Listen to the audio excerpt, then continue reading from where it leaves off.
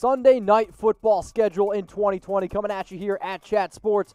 Dallas Cowboys at the Los Angeles Rams starting off Sunday night football games, and this is a great way to do it. You got two big time franchises here. The Cowboys going up against Jared Goff. We're going to be comparing Dak and Jared for a long, long time. Let's all go to week two where we got the New England Patriots. They got to travel to the Seattle Seahawks. And I understand Jarrett Stidham is probably going to end up being the starter here, but Russell Wilson is the guy that I really want to end up watching. And I think you're going to find out real quick whether or not the Patriots are a team that's going to be legit or not. If the Seahawks come out and spank them, which I think could very well happen, I think, though, also, the NFL is just going to play off a big name team like the Patriots, get them in a lot of primetime games early on, because I think later on, you're going to find out that this New England team not going to be uh, from what we've seen in the past. Now, what's the better matchup, okay? Week one, Dallas versus the Rams, or week two, Patriots versus the Seahawks. So if you think it's week one, I want you to type one. If you think it's the week two game, I want you to type two. For me personally, I'm going to type week one. I think it's going to be a closer game. I remember, I think it was last year when the Cowboys and the Rams played. It was a pretty high scoring game, a good football game. But uh, I'm going to pick Dallas to win that game, and I'm going to pick the Seahawks to win in week two. Let's now go to week three because this game is going to be a game that a lot of people watch. And I didn't mention this early on. Every game that I show, I want you to let me know who you think is going to win. So in this case, Packers or the Saints. I'm going to put my money on the Saints. This game is at home for them. Aaron Rodgers going up against Drew Brees. You got two great running backs as well Aaron Jones, Alvin Kamara. I think you're going to see two teams that really could be battling out ultimately who wins the NFC. Speaking of the team that won the NFC last year, they're like, wait a minute, what about us? Eagles at the San Francisco 49ers. You got Carson Wentz. He's got some new tools there on offense. They have a new defense with Darius Slay, but there are still a lot of holes there. And if the 49ers would do one thing very well, they find a team's holes and they just exploit them. Period, right? So the 49ers, they were 13 and 3 last year. They won the NFC West and uh, I think they're ultimately going to end up winning this week 4 game. So obviously there's a lot of crazy stuff going on in the world right now, and I think even when we go to tailgate to games or go to games, you might have to actually wear a face mask. So if you go to chatsports.com slash stay safe, you can get your favorite team's face mask, right? I got to wear them at the grocery store. I got to wear them when I go out for a run. Heck, for me to even get to work, as you guys can see, we got to wear them.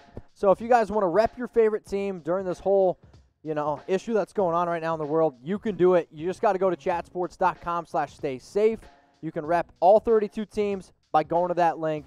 And if you do, send me a picture. I'm always on Instagram. It's at Mitchell Renz365. Let's now go to week five of Sunday Night Football. The Minnesota Vikings at the Seahawks. So the Seahawks, they get two very early Sunday Night Football games. You got Kirk Cousins, a new looking football team there, very much different on defense, up against Seattle. I am really going to be interested to see if Russell Wilson and Kirk Cousins really have a high scoring game or if this is going to be a lower scoring game. One game that I think is actually going to be a pretty low scoring game is going to be this matchup here in week six. Anytime the NFC West matches up, I just think of defense and running the football a lot. Yes, the Rams no longer have Todd Gurley, but they did go out and draft Cam Akers. And then the 49ers, you got Jimmy Garoppolo. And if I'm Garoppolo, I'm going to go out and prove that I'm better than Jared Goff. So this is going to be a tough matchup and two teams that I do, I know for a fact, do not like each other. Oh, I love how we made this question. Good job, guys. So who's going to have more wins in 2020? The 12s, the Seattle Seahawks, I want you to type 12, or you're going to go with the 49ers. I want you to type 49. I know we have a lot, and I mean a lot of Niners fans, and I know we have a lot of Seahawks fans that watch our show. So I'll be going in the comments section after this video is out, and I'm going to be seeing who's repping. So King Higgins says 12. I see Shelly says 49. I would say right now, I would see in uh, about 69% 49ers. Let's now go to week seven. The Tampa Bay Buccaneers, they're going to go to Las Vegas and battle the Raiders. And normally, I wouldn't be excited about this game, but you got Tom Brady, who's historically known for, in terms for the Raiders fans, for the Tuck Rule game. He's going to have to now go back to Las Vegas or back to play the Raiders. This is going to be a game that everyone has circled. It's also Jon Gruden's old team. Now we got week eight, the Dallas Cowboys at the Philadelphia Eagles. Let me know who wins this game. C for the Cowboys or an E for the Eagles. This is going to be a game that could really, really shake out how the NFC East ultimately does turn out. Both teams, I think, are the best teams in that division. It also wouldn't surprise me if both of these teams ended up making the playoffs. So if you want to stay up to date, and I mean like up to date, we have daily videos. I mean, we have like 10 videos come out every single day. But if you want the latest news, latest rumors, if you want even more than that, like live shows, if you want random shows where we spin roulette wheels, you're going to get that here, okay? We also do watch parties during the season. So if you're looking for a Sunday night football game, chances are we could be doing a show on it. So go ahead, subscribe to the channel, hit that big red button, and turn on your notifications so you don't miss anything that we drop. All right, let's get now to week number nine. And we got the New Orleans Saints. They're going to go to Tampa Bay to play Tom Brady and the Buccaneers. I've said it for a while. This division runs through Drew Brees in New Orleans. But now that Tom Brady has come to town, we got to at least think about hmm, could it actually turn out to be Tampa Bay, who's got Mike Evans, who's got Chris Godwin, Rob Gronkowski, O.J. Howard, Cameron Brate. They have a very dynamic offense, and I'll be honest, I'm going to be watching a lot, a lot of Tampa Bay games, but I'm also going to be watching a lot of the Saints because right now they're my pick to win the NFC. So Tom Brady sounds weird. He's no longer a member of the Patriots. So Lamar Jackson against Jarrett Stidham. Yeah, good luck trying to sell that one. I think this is going to be a runaway game where Jackson, you're going to see J.K. Dobbins, Mark Ingram really just assert their dominance against the New England Patriots. Now, I've had a lot of people, and I see it in the comments, say, Mitch, but they're the Patriots. I think Bill Belichick figures it out. We'll see. I think we'll know by this time whether or not the Patriots are tanking for Trevor Lawrence or they're actually legitimate. Let's now go to week 11 here where we got the Kansas City Chiefs. They're going to Vegas to play the Raiders. Last season in this matchup, the Raiders held Patrick Mahomes scoreless for three quarters. But they didn't show up in the second quarter. He dropped 278 yards, four touchdowns on the Raiders, and the Chiefs won. For the Chiefs, if you want to prove that you are just dominant in this division, these are the kind of games you got to win. For the Raiders, if Jon Gruden and Mike Mayock want to prove to the rest of the world that, hey, we are building a younger team here, these are the type of games you got to go out and win. Now we got week 12. We got an NFC North matchup. I like these division matchups on Sunday Night Football.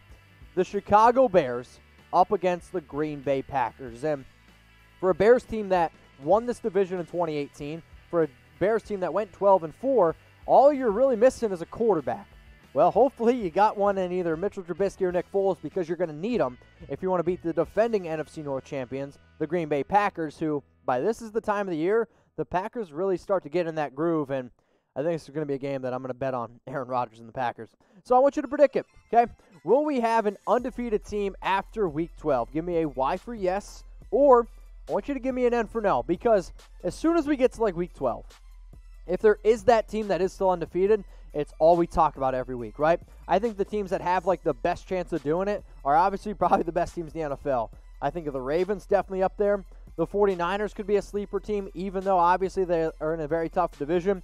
But I think the team that a lot of y'all are starting to pick, because I'm seeing a lot of Ys, probably is the Kansas City Chiefs, and they're up next here on our list in Week 13, where they're going to be hosting the Denver Broncos, another AFC West matchup. And I think John Elway is trying to put together an offense, right? You go out, you draft Jerry Jeudy in round one, you draft KJ Hamler, two wide receivers with your first picks.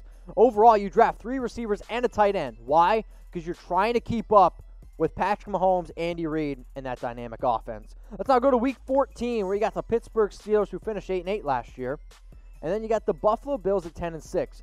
The Steelers probably think, hey, with Big Ben, we can compete for this division. And the Bills, on the other hand, are like, wait a minute, we're going to run the AFC East. This is going to be one of those games where you have that extra playoff spot. I think whoever wins this game, it really could decide who wins their division and maybe who just ends up with a wild card spot. Now, if you don't follow Chat Sports on Twitter, that just means you don't want to stay up to date on all things sports. So try to get us to 12,000 followers. Go to Twitter. We're at Chat Sports. Currently, we're at 11,200, okay? So get out your phones. Go follow Chat Sports on Twitter. And if you want a shout out, I'm going to give shout outs to the people that go ahead and follow. So you got 10 seconds, so you better act quick, okay? I see uh, Dominic K just followed him on Twitter. I see Ronald R just followed him. So go ahead, follow us on Twitter. We are at Chat Sports. Two teams that we cover very, very closely the San Francisco 49ers and the Dallas Cowboys. Why? Great followings, both teams, also winning histories. This is going to be a game that's going to be a lot of fun to watch in Week 15. And I think both of these teams are going to be in the playoff mix. For the 49ers, you probably want to ultimately win your division and be battling for the number one seed. And then you got the Cowboys, who, guess what? They're going to be trying to obviously win the NFC East because the Eagles are probably going to be up there too. It's going to be a great game.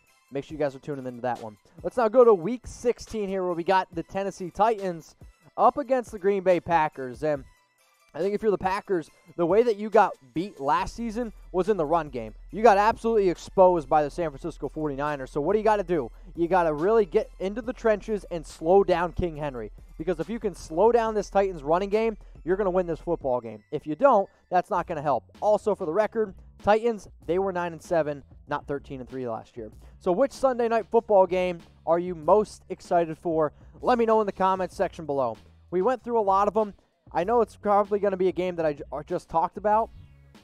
I mean, I think you almost got to say the Cowboys and 49ers would be a great game. I think anytime early on where we get the there's some good Ravens games early on in there. Um, I like the division rival games always, either whether it's the Packers or the Bears. So what I want you to do is watch the video, get up to date, and then we'll figure out you know which Sunday night football game you're most excited for. And if you haven't already, make sure you hit that sub button.